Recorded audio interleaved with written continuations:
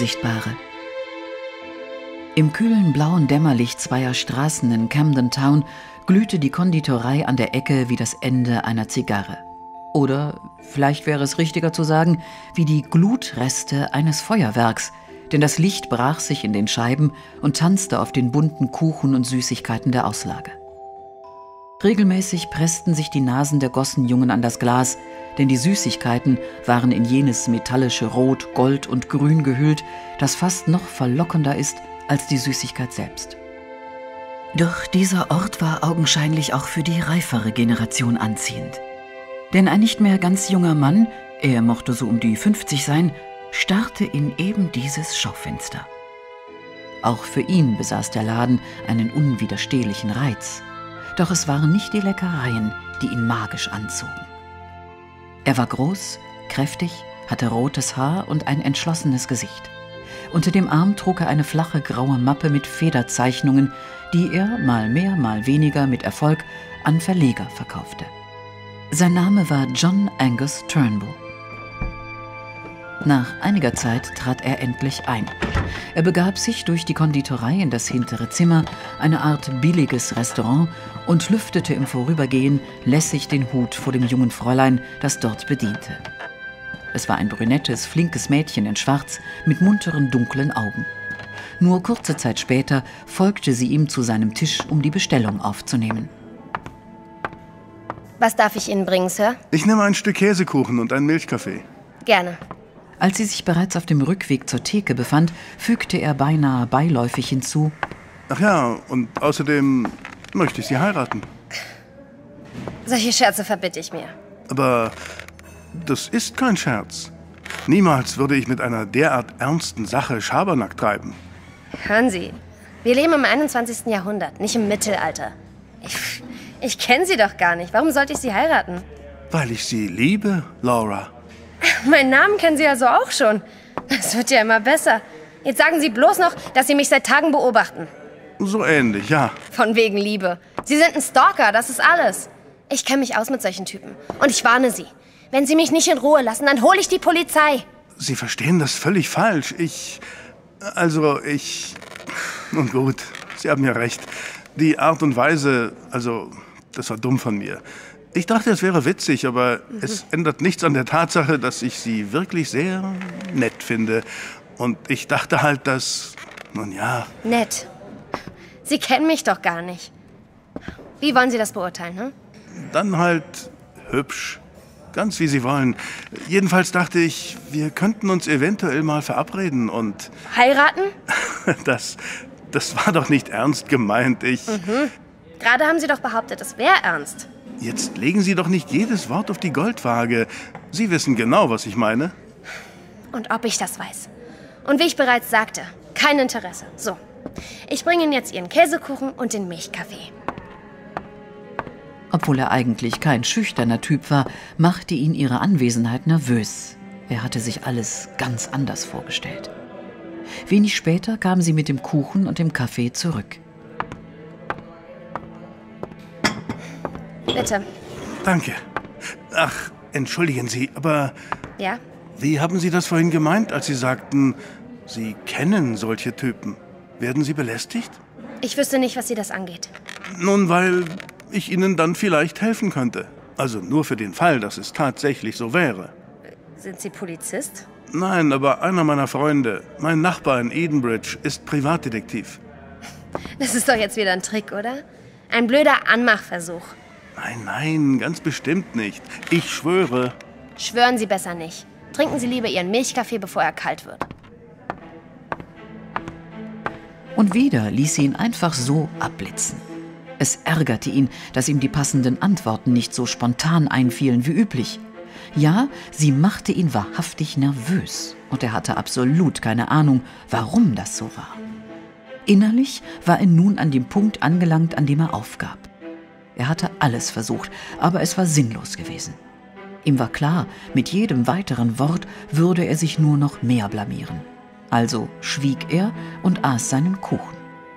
Umso überraschter war er, dass sich die hübsche Serviererin ganz plötzlich zu ihm an den Tisch setzte. Er sah ihr tief in die Augen und glaubte darin, Furcht nein, nackte Angst erkennen zu können. Stimmt das wirklich? Also, das mit dem Detektiv meine ich. Ja, es stimmt. So wie alles andere, was ich Ihnen heute gesagt habe. Sie ging nicht weiter auf seine Bemerkung ein. Es gibt da. Es gibt da etwas, das ich Ihnen erzählen muss. Vielleicht bin ich verrückt, aber irgendwie habe ich das Gefühl, Ihnen vertrauen zu können.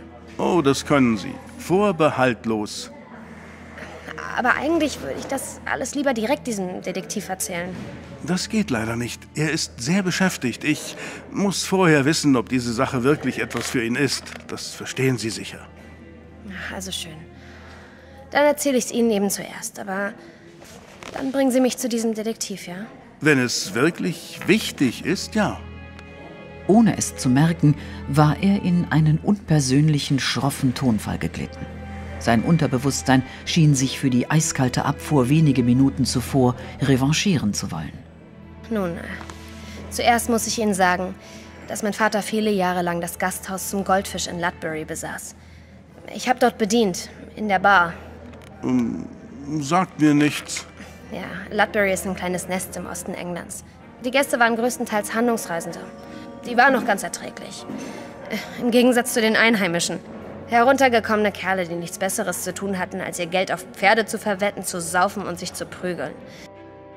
Tja, und dann waren da noch die zwei jungen Burschen, um die es geht. Aha. Ich bin gespannt. Der eine war auffallend klein, fast schon ein Zwerg. Ich habe mich mal gefragt, welchem Beruf er nachging. Vielleicht war er Jockey. Naja, wie dem auch sei. Sein Name war jedenfalls Isidore Smythe. Wenn er im Goldfisch war, hat er meist eine irre Schau abgezogen. Sein Hobby war die Zauberei. Er hat verschiedene Kartentricks vorgeführt. Äh, Oder Dinge verschwinden lassen. Das Übliche halt. Ich verstehe. Und der zweite? War eigentlich ein ruhiger Zeitgenosse. Er heißt James Wilkin. Er war groß, sehr groß. Also wenigstens wirkte er neben dem kleinen Smythe wie ein Riese. Trotzdem fiel er nicht weiter auf.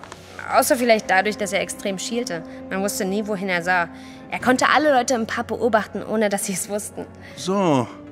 Und was stimmte nun nicht mit Pat und Patajon? Sie haben mir einen Heiratsantrag gemacht. Und im Gegensatz zu Ihnen meinten die zwei das wirklich bitter ernst. Beide gleichzeitig? Nein, äh, aber innerhalb einer Woche. Verrückt. Ich nehme an, Sie haben sie ebenso kalt abblitzen lassen wie mich. Ja, selbstverständlich. Was denken Sie? Verrückt, dass die Kerle im Osten Englands immer sofort ans Heiraten denken. Die haben anscheinend sämtliche Errungenschaften der Emanzipation verpennt, aber. Tja, also. äh, Wo war ich? Ach so, ja. Anfangs nahmen sie es eigentlich gefasst auf. Dachte ich zumindest. Sie ließen sich im Goldfisch nicht mehr blicken. Ich habe sie mehrere Wochen nicht mehr gesehen. Dann bekam ich plötzlich Briefe von Smythe. Briefe? Wie altmodisch romantisch. Ja, bis auf den Inhalt. Ein widerliches Geschreibsel, glauben Sie mir. Ah, Und das ist noch nicht alles. Die Briefe waren ekelhaft. Ja, aber es waren nur Briefe. Smythe hat mich nicht weiter bedrängt. Ich, ich habe ihn nie wieder gesehen. Welken aber. Hat sie aufgesucht? Wenn es nur das wäre, nein. Er verfolgt mich. Rund um die Uhr. Er ist immer in meiner Nähe. Wie, wie ein Schatten oder ein Gespenst. Ich sehe ihn nicht, aber ich weiß, dass er da ist. Immer. Wie soll das gehen? Der kann sich doch sicher nicht unsichtbar machen. Anscheinend doch. B bitte halten Sie mich nicht für verrückt. Ich- weiß, dass er da ist. Ich höre seine Stimme. Sein grausames Flüstern. Doch wenn ich mich in Richtung der Stimme umdrehe, dann, dann, dann ist da niemand. Das ist doch Blödsinn. Sie glauben mir nicht. Nein, Also bringen Sie mich nicht zu Ihrem Detektiv. nein. Dann, dann nimmt das nie ein Ende. Lassen Sie mich ausreden. Ich bringe Sie nicht zu ihm. Ich rufe ihn an und bestelle ihn her. Das würden Sie tun. Obwohl Sie mir nicht glauben. Ja, die ganze Sache ist so verrückt, dass ich Flambeaus Gesicht sehen will, wenn Sie ihm davon berichten. Flambeau? Ist der Franzose? In der Tat. Warten Sie, ich rufe ihn sofort an.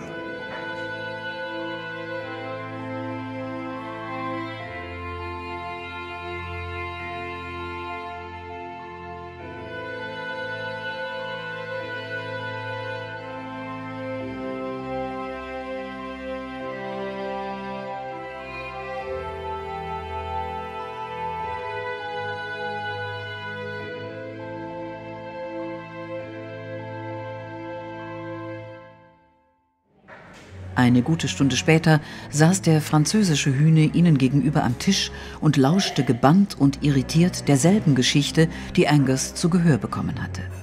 Als die junge Laura geendet hatte, schwieg er einige Minuten und überlegte angestrengt. Sie haben ihn also gehört? Ja. Hm. Gut. Was hat er gesagt? Nichts. Nichts? Also, entweder hat er gesprochen oder nicht. Sicher, ja. Also, ich habe seine Stimme gehört. Aber gesagt hat er nichts. Er hat gelacht. Mich ausgelacht. Können Sie sich an eine bestimmte Situation erinnern? Ein Ort, eine Uhrzeit? Konzentrieren Sie sich. Denken Sie genau nach. Das könnte wichtig sein.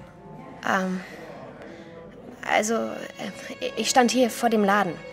Es war früher Morgen. Ich habe gerade die Tür aufgeschlossen, wie ich es immer tue. Da erklang das Lachen. Es war grässlich, hämisch, blechern, böse. Was taten Sie, als Sie es hörten? Das habe ich doch schon gesagt. Ich fuhr herum, aber da war niemand. Das ist seltsam. Wenn man vor dem Laden steht, genau in der Ecke, dann kann man beide Straßen fast vollständig einsehen. Es gibt auch keine Nischen, in denen man sich verstecken könnte. Wissen Sie, was auch seltsam ist? Nein. Am selben Tag erhielt ich den ersten Brief von Smythe. Ob das zusammenhängt? Machen die beiden gemeinsame Sache? Wollen sie sich an mir rächen, weil ich sie verschmäht habe? Nun, das kann Zufall sein. Kam der Brief per Post? Nein. Er war zwar im Briefkasten, aber es war keine Marke drauf. Smythe muss ihn selbst eingeworfen haben. Und der Unsichtbare hat wirklich nie mit Ihnen gesprochen? Bei einer anderen Gelegenheit vielleicht. Bitte überlegen Sie noch mal in Ruhe. Nein, ganz bestimmt nicht. Aber Sie haben ihn noch öfter lachen gehört. Ja, viele Male. Zu verschiedenen Uhrzeiten? Ach, warten Sie, ich. Äh, also jetzt, wo Sie es sagen. Nein, ich glaube, es war immer früher Morgen. Ich hatte die Konditorei immer erst kurz vorher geöffnet. Das bedeutet, dass auch noch nicht viele Kunden anwesend waren. Nein, das bedeutet leider genau das Gegenteil. Kurz nach Öffnung ist für gewöhnlich am meisten los. Die Menschen aus der Umgebung oder die, die hier in der Gegend arbeiten, kaufen bei uns ihre Frühstücksbrötchen, trinken einen letzten Kaffee vor Dienstbeginn oder sowas. Um diese Zeit ist es meist brechend voll. So, dass eine einzelne Person in der Menge kaum auffallen würde. Ja, so ist das. So wie ich das sehe, dürfte es das Beste sein, wenn wir diesen Welkin aufsuchen und befragen. Schon, aber ich habe keine Ahnung, wo er sich aufhält. Die Briefe waren ohne Absender? Ja. Hm, dennoch. Niemand kann seine Spuren perfekt verwischen. Ich bin sicher, dass wir ihn finden werden. Laura, Sie haben gesagt, er sei sehr klein, habe dunkle Haare und einen gezwirbelten Schnäuzer, richtig? Ja, das stimmt. Wieso? Weil sich ein Kerl, auf den diese Beschreibung passt, gerade vor der Konditorei herumdrückt. Was? Oh nein. Na, den kaufe ich mir. Flambeau sprang auf und hechtete zur Ladentür. Und tatsächlich, draußen stand ein kleines Männchen, das der gegebenen Beschreibung haargenau entsprach. Seltsamerweise beachtete dieser den französischen Detektiv überhaupt nicht. Sein Blick hing an einem Zettel, der mit zwei Klebestreifen an der Fensterfront befestigt worden war. Hat Miss Hope das gesehen? Sind Sie Ithidor Smythe? Ganz recht, der bin ich. Aber bitte, beantworten Sie meine Frage. Hat Miss Hope diesen Zettel gesehen? Nein, sicher nicht. Als ich vorhin kam, hing er noch nicht hier. Und keiner von uns hat seitdem die Bäckerei verlassen. Na, dann lesen Sie bitte mal, Mr. Flambeau. Oh, Sie wissen, wer ich bin? Natürlich. Ich passe auf Laura auf. Dieser Angus Turnbull stellt ihr nach. Seit Wochen. Aber als sein Nachbar wissen Sie das ja sicher. Aufpassen nennen Sie das? Ich nenne es Belästigung. Belästigung? Machen Sie sich nicht lächerlich, Flambeau. Wie nennen Sie dann dies? Wieder wies er auf den Zettel. Flambeau senkte den Blick und besah sich das Papier. Auf ihm stand in ungelenken Buchstaben: Wenn Sie Smythe heiraten, mache ich ihn kalt. Das war Welkin. Ich kenne seine Schrift. Er ist gefährlich, glauben Sie mir. Mr. Smythe, noch begreife ich nicht, was hier vor sich geht, aber ich bin mir sicher, Sie werden Licht ins Dunkel bringen. Darf ich Sie bitten, mich zu unserem Tisch zu begleiten? Bitten? Sehr witzig. Was würde passieren, wenn ich Ihre Bitte ausschlüge? Ich würde Sie an den Ohren hineinzerren. Also, Kommen Sie freiwillig mit, oder? Ich beuge mich der Gewalt. Na dann, nach Ihnen. Und das hier nehmen wir mit. Sie traten ins Innere der Konditorei. Der hünenhafte Franzose schob den kleinwüchsigen Mann wie eine Puppe vor sich her. Laura Hope schien in Gegenwart des Detektivs keine Furcht mehr vor dem Mann zu haben, der sie in den letzten Wochen verfolgt hatte. Jedenfalls ließ sie es sich nicht anmerken. Die beiden setzten sich. Nun packen Sie mal aus. Um was geht es hier eigentlich? Um Rivalität. Welkin, dieser armselige Schmarotzer, kann es nicht ertragen, wenn ich etwas habe, das er nicht haben kann. Wie lange kennen Sie sich bereits? Zu lange. Und Miss Laura? Was hat sie mit der Sache zu tun? Wir haben sie in der Kneipe ihres Vaters kennengelernt. Und ich, nun ja, ich habe mich in sie verliebt. Und haben ihr daraufhin einen Heiratsantrag gemacht? Ja. Und Welkin, dieser Dreckskerl, hat sie ebenfalls gefragt. Aber nicht, weil er etwas für sie empfindet. Nein, aus purer Boshaftigkeit, aus Neid, um mich zu ärgern. Verstehen Sie? Ja, so langsam. Miss Laura, stimmt das? War es Smythe, der Sie zuerst gefragt hat? Ja, Welkin hat es eine gute Woche später versucht, denke ich. Aha. Aber sie hat Ihnen beiden eine Abfuhr erteilt, oder nicht? Doch, natürlich. Und ich, Gentleman, der ich bin, habe das auch akzeptiert. Aber Welkin, Welkin hat nicht locker gelassen. Er hat ihr nachgestellt. Ich musste sie beschützen. Verstehen Sie das denn nicht? Indem Sie ihr ebenfalls auflauerten? Auflauerten. So ein Unsinn. Habe ich Sie belästigt? Haben Sie zu irgendeinem Zeitpunkt etwas von meiner Gegenwart bemerkt, Miss Hope? Nein, soweit ich mich erinnern kann. Na, sehen Sie.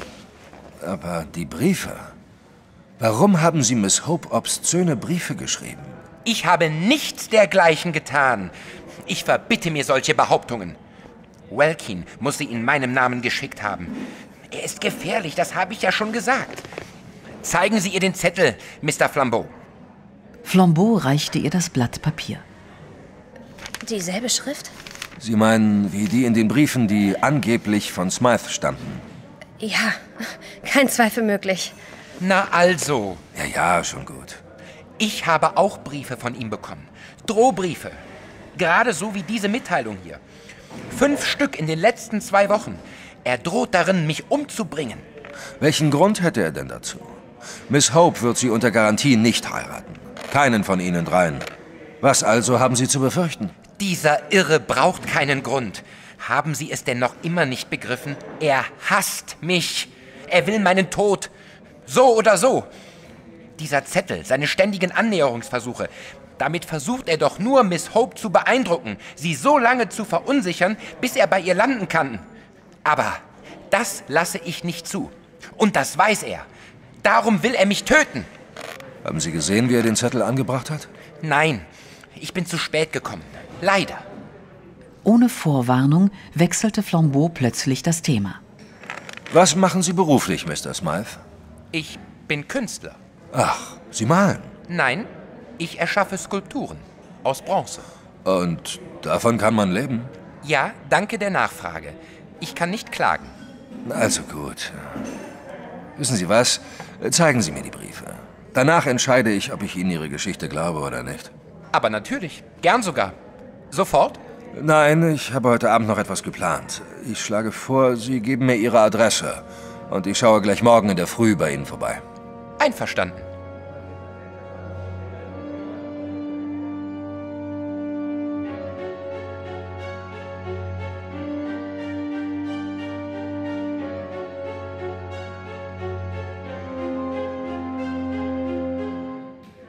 Am kommenden Morgen betrat Flambeau das geräumige Anwesen des Künstlers. Er residierte in Lucknow Mansions, Terrasse erhob sich über Terrasse. Der Haufen Mietshäuser lag über London wie über einem grünen Schiefersee. Die buschige Umzäunung glich mehr einem Damm als einem Garten, und etwas darunter floss ein künstlich angelegter Wasserlauf. Das Anwesen glich einer alten Ritterburg mit Burggraben. Es wurde von einem altersschwachen Pförtner bewacht, der Flambeau zum Fahrstuhl begleitete. Oben angekommen staunte der französische Bon Vivant nicht schlecht. Die Wohnung diente anscheinend gleichzeitig als Galerie, denn überall in jedem Raum auf allen Gängen standen Skulpturen. Merkwürdige Gestalten aus Metall, Männer, Frauen, Wesen, abstrakt, ungelenk, teilweise nur entfernt an einen Menschen erinnernd. Flambeau entschied instinktiv, mit dieser Art von Kunst nicht das geringste anfangen zu können. Möchten Sie einen Whisky? Um diese Zeit? Nein, danke. Ach so, ich vergaß. Für Sie ist es ja morgen. Ich habe die Nacht hindurch an einem Werk gesessen. Es ist also mein Schlummertrunk. Aber bitte, setzen Sie sich doch. Danke, aber ich will nicht lange bleiben. Die Briefe, Mr. Smythe. Natürlich. Er schenkte sich reichlich aus der Whiskyflasche ein. Hier, bitte. Danke. Tja, dann wollen wir doch mal sehen. Flambeau entfaltete Brief um Brief und las einige Minuten schweigend. Uh, das ist harter Stoff, Mr. Smythe. Das habe ich Ihnen ja gesagt. Und es ist in der Tat dieselbe Handschrift. Ich habe mir gestern, nachdem Sie uns verlassen haben, die Briefe zeigen lassen, die Miss Hope erhalten hat. Keine Frage. Sie wurden von derselben Person geschrieben. Auch das habe ich Ihnen ja bereits gesagt. Eines verstehe ich nicht, Mr. Smythe. Sie selbst haben uns erklärt, dass Welkin gefährlich ist. Oh ja, das ist er. In Ludbury war er berüchtigt. Er war jähzornig und hat sich regelmäßig geschlagen. Es heißt sogar, er habe dort jemanden umgebracht, aber es konnte nie bewiesen werden. Gut, wenn das so ist, warum haben Sie dann nicht die Polizei hinzugezogen? Ja, was glauben Sie denn, was ich getan habe? Natürlich habe ich die Briefe der Polizei gezeigt, aber dort hat man mich nicht ernst genommen. Dieser Inspektor Craven. Chief Inspector. Bitte? Ach, nichts. Er hat mich ausgelacht. Man hätte Wichtigeres zu tun als die Spinnereien eines durchgeknallten Bildhauers. Dabei bin ich kein Bildhauer, Mr. Flambeau. Ein Bildhauer arbeitet mit. Ja, danke, schon klar. Wann kam dieser, der letzte Brief an? Vorgestern. Wenn das stimmt. Und wenn Sie diesen Welkin wirklich ernst nehmen. Das müssen wir, unbedingt. Gut, wenn wir ihn also ernst nehmen, dann. Tja, dann wird er Sie heute töten. Ganz genau. Aus diesem Grund habe ich mich gestern zu erkennen gegeben. Ich wusste, wer Sie waren. Weil Sie Miss Hope und alle, die mit ihr in Kontakt kamen, beschattet haben. Nur zu Ihrem Besten. Geschenkt. Also, er wird Sie heute töten. Das kündigt er in seinem letzten Brief an. Er schreibt übermorgen. Da er die Briefe selbst einwirft oder einwerfen lässt. Denn auch hier fehlt die Briefmarke und der Brief vorgestern kam, tja, somit hat er den heutigen Tag gemeint. Exakt. Haben Sie denn gar keine Angst? Ich vertraue auf Ihre Fähigkeiten als Detektiv. Ich bin kein Leibwächter, Mr. Smythe. Ich werde das Haus nicht verlassen. Den ganzen Tag. Unten wacht der Pförtner. Und hier oben Sie. Nein, nein, das. Ich bezahle Sie. Ich habe Geld. Sie sind Privatdetektiv. Ich engagiere Sie, Flambeau. Ich. ich weiß nicht. Irgendetwas an dieser Sache gefällt mir ganz und gar nicht. Ich kann nicht sagen, was es ist, aber. Trauen Sie mir etwa immer noch nicht? Wenn ich ehrlich bin. Nein. Ja, aber was muss ich denn noch tun, damit Sie mir glauben? Passen Sie auf. Sie tun das, was Sie gesagt haben, nämlich Sie werden dieses Haus nicht verlassen. Ich werde jemanden hinzuholen, dem ich zutraue, dieses Chaos zu entwirren. Einen Kollegen? So etwas Ähnliches. Zu Ihrem Schutz werde ich einen Polizisten vor dem Haus postieren. Und wie Sie ja sagten, der Pförtner ist auch noch da. Es sollte also mit dem Teufel zugehen, wenn Welkin das Haus unbemerkt betreten könnte. Die Person, die ich zu holen gedenke, wohnt in Edenbridge. Es wird also nicht lange dauern. Und nochmal. Sie gehen nicht aus dem Haus und öffnen niemandem. Haben Sie verstanden? Jedes Wort. Gut. Ich bin gleich zurück. Als Flambeau die Tür hinter sich schloss, sah er Smythe einen Knopf drücken und eine der Figuren verließ ihren Platz, glitt eine Furche im Boden entlang, ein Servierbrett mit Sodaflasche und Wein tragend. Seine Kunstwerke lebten also auch noch. Unheimlich, fand Flambeau. Sechs Stufen unterhalb von Smythes Treppenabsatz war der Pförtner mit einem Eimer beschäftigt. Flambeau blieb stehen und nahm ihm, indem er ihm ein gutes Trinkgeld in Aussicht stellte, das Versprechen ab, an dieser Stelle zu bleiben, bis er zurückkehrte und auf jeden Fremden Acht zu haben, der diese Treppe heraufkäme. Damit noch nicht zufrieden, griff er den nächstbesten Streife gehenden Bobby auf und veranlasste ihn, sich dem Hauseingang gegenüber aufzustellen und denselben zu bewachen. Und schließlich hielt er noch einen Augenblick an, für einen Penny Kastanien zu kaufen und sich zu erkundigen, wie lange der Verkäufer sich in dieser Nachbarschaft aufzuhalten gedenke. Es gelang ihm auch noch den Kastanienmann zum Bleiben zu überreden. Drei Wachen, das sollte genügen. Dann lief er mit einem letzten Blick auf den belagerten Turm Islands davon. Eine gute halbe Stunde später kehrte er, diesmal in Begleitung von Angus Turnbull, der ihn an seiner Wohnung abgepasst hatte, und Pater Brown, dem unscheinbaren Priester aus Edenbridge, zurück. Er parkte am Fuße der Straße. Herrliches Wetter heute, wobei eigentlich etwas kalt für Südländer wie mich. Ja, ich glaube, es wird gut bleiben. Nein, es hat angefangen zu schneien.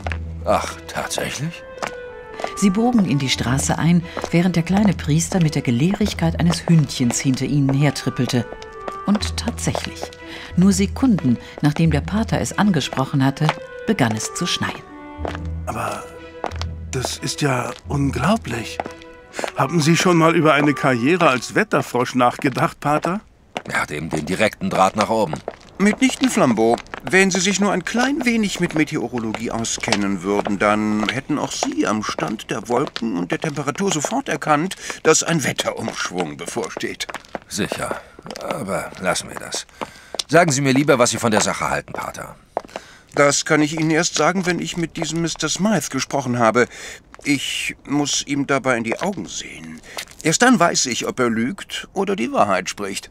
Na, dann wissen wir ja in ein paar Minuten mehr. Wie lange der Schnee wohl liegen bleibt. Ob er es inzwischen versucht hat? Welkin, meine ich. Ich habe ja nicht umsonst drei Wachposten zurückgelassen. Wenn Sie etwas bemerkt haben, werden Sie es uns gleich mitteilen. Nun dann, Flambeau, fragen wir Sie. Beginnen wir mit dem Kastanienverkäufer. Gern, Pater. Haben Sie jemanden Verdächtigen gesehen, der ins Haus gegangen ist, seit ich weg bin? Nein, nein, ganz gewiss nicht. Sind Sie sich vollkommen sicher? Sie haben auch wirklich die ganze Zeit hier gestanden. Äh, jawohl, äh, und wie Sie ja selbst sehen, hat man das Tor von hier aus jederzeit im Blick und ich bin mir sicher, äh, niemand, absolut niemand hat das Haus betreten. Danke. Ich schlage vor, wir befragen als Nächsten den Bobby. Ein Polizist hat sowieso den besseren Blick für so etwas. Was immer Sie auch mit so etwas meinen, mein Bester. Was die Reihenfolge angeht, bin ich Ihrer Meinung. Also fragen wir ihn. Nun, Officer, ist Ihnen jemand aufgefallen, der das Haus betreten hat? Eine verdächtige Person? Nein, seitdem ich hier Wache stehe, ist ganz bestimmt niemand durch. Ich habe Erfahrung, wissen Sie? Einen Halunken erkenne ich sofort. Auf einen Kilometer, wenn Sie verstehen. Ein Verdächtiger verhält sich nämlich auch verdächtig und kleidet sich ebenso, wenn Sie verstehen, was ich meine. Sicher. Vielen Dank. Bliebe noch der Pförtner. Zur Abwechslung können Sie ja einmal fragen, Pater. Warum nicht, werter Flambeau? Sie sind also der Pförtner dieses Anwesens? In der Tat. Ich habe das Recht, einen jeden zu fragen, was er in diesem Haus sucht. Egal ob Prinz oder Bettler. So, ja. Und wie oft haben Sie das heute bereits getan? Äh, bitte? Nun, wie oft haben Sie heute schon jemanden nach seinen Gründen, das Haus betreten zu wollen, gefragt? Ach so.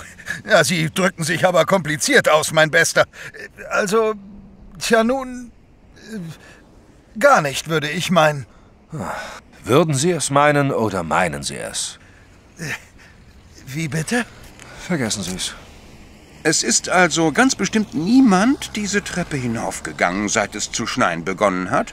Ich schwöre es, niemand war hier. Aha. Und wie erklären Sie sich dann das? Der kleine Priester starrte ausdruckslos wie ein Fisch auf den Boden. Fußabdrücke im Schnee. Ganz genau, mein lieber Flambeau. Und was haben Sie dazu zu sagen, werter Herr Torwächter? Ich? Also. Äh Himmel. Smythe. Ohne ein weiteres Wort zu verlieren, wandte sich Angus um und rannte die Treppe hinauf. Flambeau eilte sogleich hinterher. Pater Brown jedoch stand noch auf der schneebedeckten Straße und blickte sich um, als interessiere ihn die Angelegenheit nicht mehr. Ah, verflucht!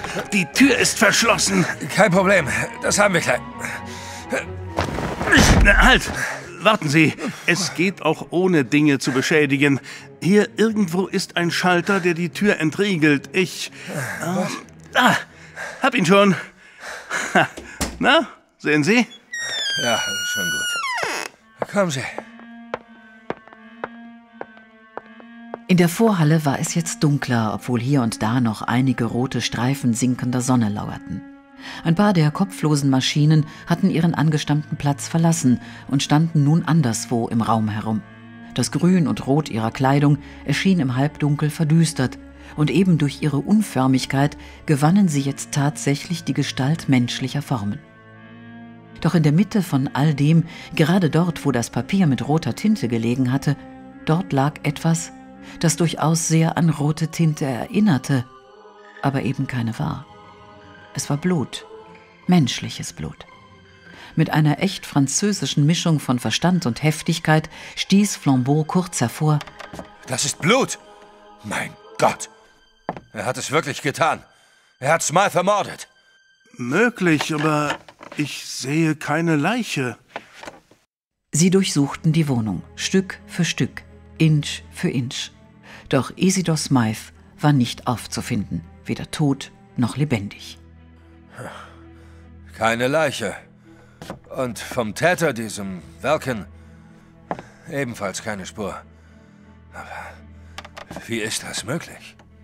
Angus sah sich in dem düsteren Raum um. Die Puppen machten ihm Angst. Eine der lebensgroßen Figuren stand direkt vor dem Blutfleck. Angus drängte sich plötzlich der furchtbare Gedanke auf, dass Smythe ein Opfer seiner eigenen Schöpfungen geworden war. Die Puppen hatten ihn getötet. Aber wenn, dann wie? Was hatten sie mit ihm gemacht? Und warum haben sie es getan? Ihm wollte keine plausible Erklärung einfallen, und er verwarf diesen abstrusen Gedanken wieder. Sein Körper hat sich aufgelöst. Nur noch ein Streifen Blut ist zurückgeblieben. Grundgütiger Flambeau, das geht doch nicht mit rechten Dingen zu. Das ist Teufelswerk. Dann gibt es nur noch einen, der uns helfen kann. Los, kommen Sie. Wir müssen dem Pater Bescheid geben.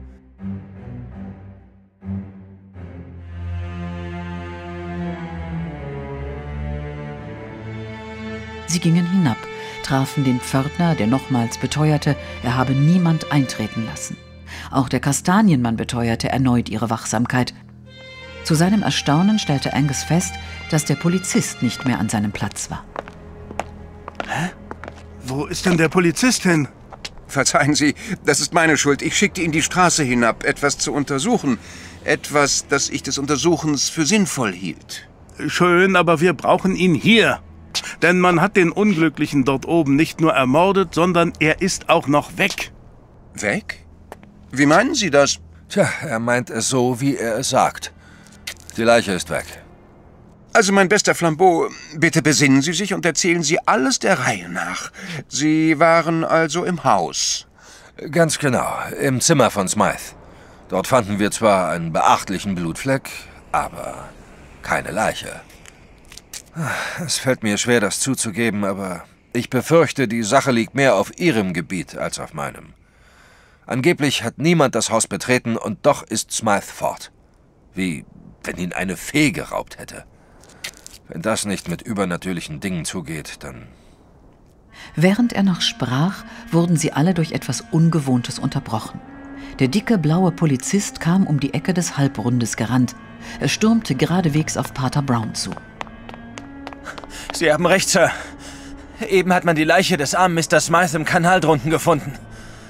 Nun, bitte. Damit hätten wir den Verbleib des Toten bereits geklärt. Schön, ja. Aber wie um alles in der Welt ist er dorthin gekommen? Ist er hinuntergelaufen, um sich dort zu ertränken? Das ist unmöglich. Ich habe Ihnen doch gesagt, dass niemand das Haus betreten oder verlassen hat. Auf keinen Fall ist er hinabgelaufen, das beschwöre ich.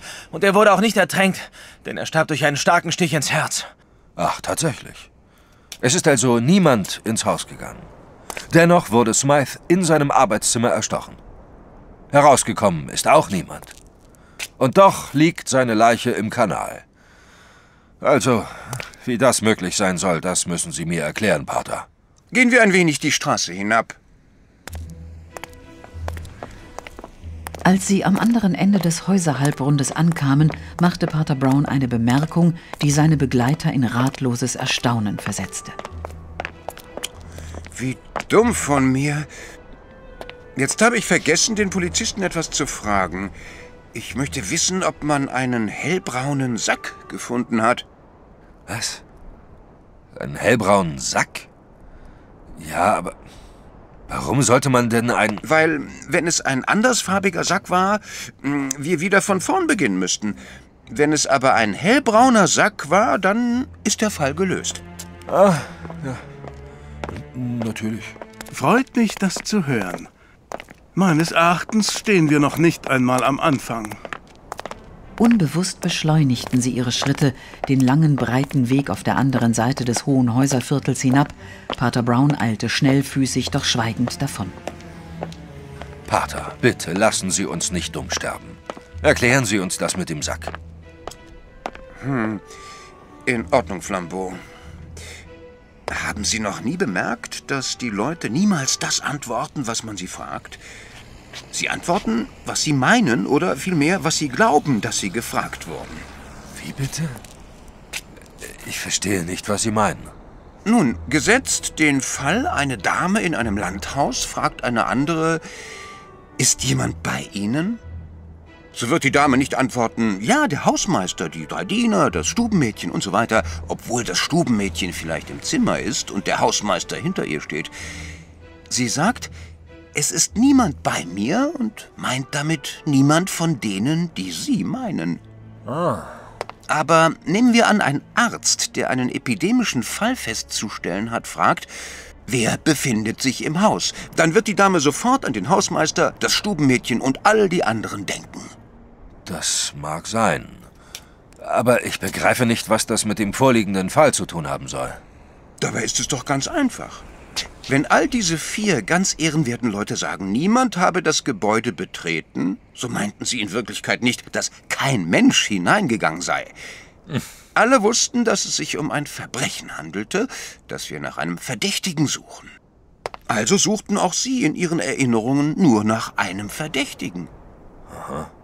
Demnach ging also doch jemand ins Haus? Ganz recht. Jemand ging in das Haus, und kam wieder heraus, ohne dass unsere Zeugen ihn beachteten. Ein Unsichtbarer also? Ein geistig Unsichtbarer. Was soll denn das jetzt heißen? Sehen Sie, werter Flambeau, denken Sie doch mal an das, was Miss Hope erzählt hat. An den Anfang der ganzen Geschichte. An die Stimme, die sie gehört hat. Welkens Stimme. Ganz recht.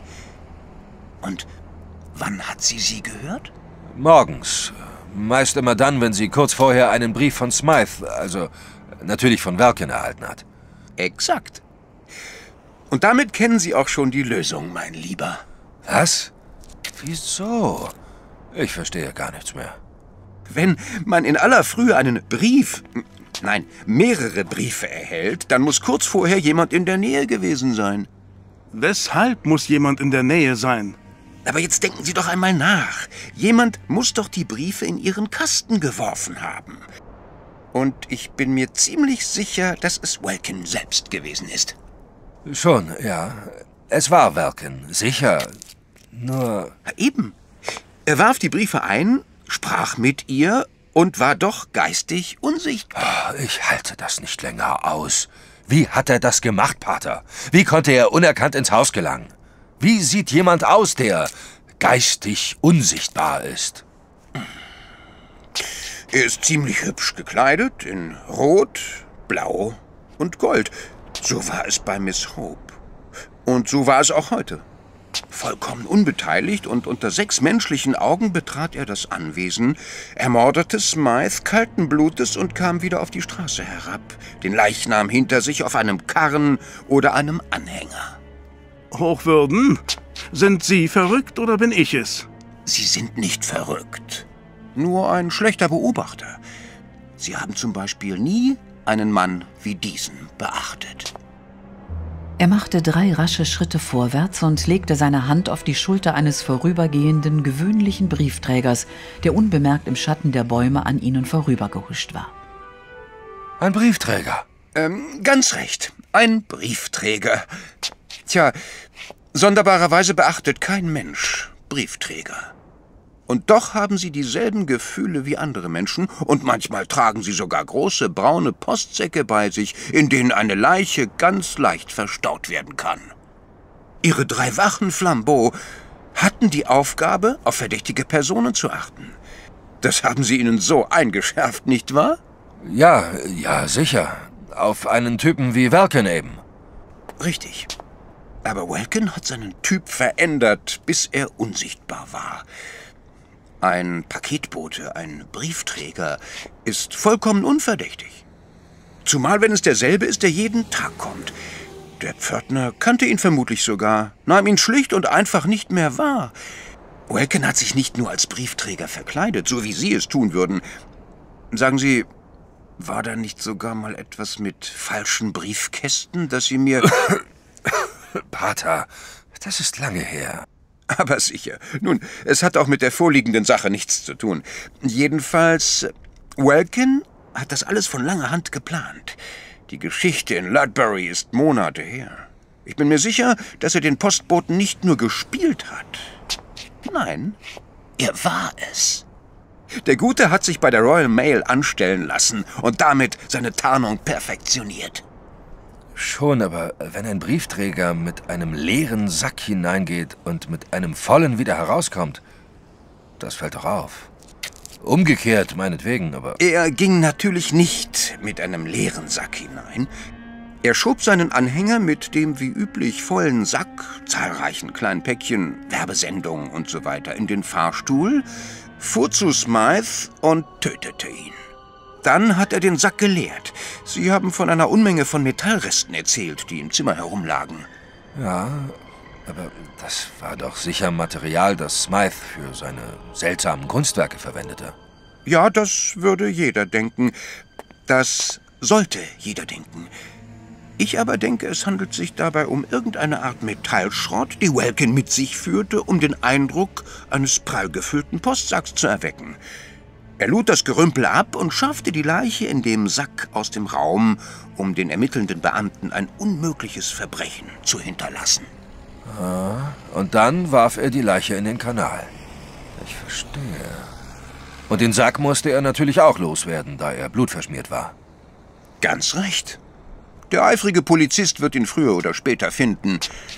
Ach, äh, Flambeau, da die Sache jetzt geklärt ist, werde ich mich zurück nach Edenbridge begeben. Ich muss noch an einer Predigt über den heiligen Franziskus arbeiten. Ich überlasse Ihnen den Spitzbuben zu treuen Händen. Sorgen Sie dafür, dass er Inspektor Craven... Chief Inspector. Jetzt fangen Sie nicht auch noch damit an. Also, dass er Inspektor Craven übergeben wird. Und informieren Sie die junge Miss, dass die Gefahr vorüber ist. Welkin wird sie nie wieder belästigen. Wird gemacht, Pater. Der Briefträger war im Verlauf des Gesprächs immer weiter zurückgewichen und schließlich gegen den Gartenzaun gestolpert. Er war ein hagerer, blondbärtiger Mann, eine in allen Belangen durchschnittliche Erscheinung. Doch als er sich ihnen zuwandte, blickten die drei Männer in teuflisch schielende Pupillen. Flambeau packte den Burschen am Arm und zog ihn mit sich. Wenige Minuten später fand er sich im Inneren eines Polizeifahrzeugs wieder. Der französische Detektiv ging heim zu seinen Säbeln, roten Teppichen und seiner Angora-Katze. Und John Angus Turnbull begab sich wieder in die Konditorei zu Miss Laura, mit der er noch äußerst glücklich zu werden gedachte. Aber dies ist eine andere Geschichte.